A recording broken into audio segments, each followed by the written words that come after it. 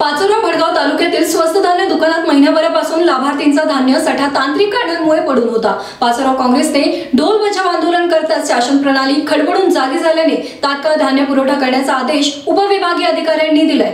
याबाबत सविस्तर माहिती अशी की गोरगरीब आणि सर्वसामान्य जनतेसाठी शासन स्वस्त धान्य दुकानाच्या मार्फत धान्य पुरवठा करत असतो. मात्र पाचोरा आणि भडगाव तालुक्यातील स्वस्त धान्य दुकानदारांना संपूर्ण धान्य साठा मिळाल्यावर देखील लाभार्थींना तांत्रिक कारणामुळे ऑनलाईन प्रणाली नादुरुस्त असल्यामुळे वितरित करण्यात आला नव्हता.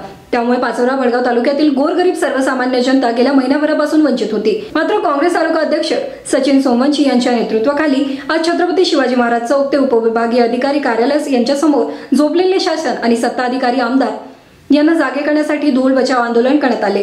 या आंदोलनाची गंभीर दखल उपविभागीय अधिकारी भूषण अहिरे यांनी घेऊन पाचोरा वडगाव तालुक्यातील लाभार्थी जनतेला तात्काळ धान्य पुरवठा ऑफलाईन करण्याचे आदेश पारित केले यामुळे आंदोलनाला यश मिळाले. या आंदोलनात तालुका अध्यक्ष सचिन सोमवंशी शहराध्यक्ष ऍडव्होकेट अमजद पठाण प्रदेश प्रतिनिधी शेख इस्माईल शेख फकीरा जिल्हा सरचिटणीस प्रताप पाटील जिल्हा उपाध्यक्ष शरीफ खाटी यांच्यासह सर्व पदाधिकारी उपस्थित होते.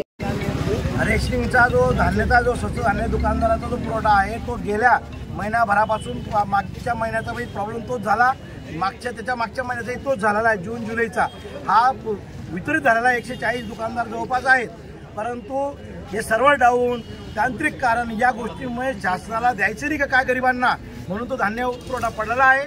आणि यासाठी आज भारतीय राष्ट्रीय काँग्रेसने या ठिकाणी ढोल बजाव झोपलेलं शासन इथल्या झोपलेला आमदार किशोरप्पा पाटील स्वतः गरिबाचे पुळका समजतो.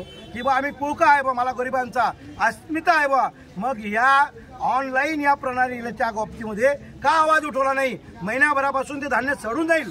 खराब होईल. मग याला जबाबदार कोण आहे? म्हणून सत्ताधारी पक्षातले आमदार असो की सत्ताधारी पक्ष आणि शासन यांना जाग आणण्यासाठी आज भारतीय राष्ट्रीय काँग्रेसने ढोल बजाव आंदोलन केलेलं आहे. हा इशारा दिला आम्ही पहिला.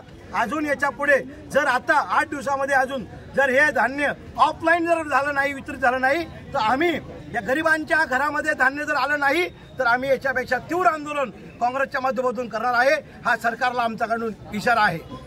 Beacon Patil star Maharashtra news Pachora.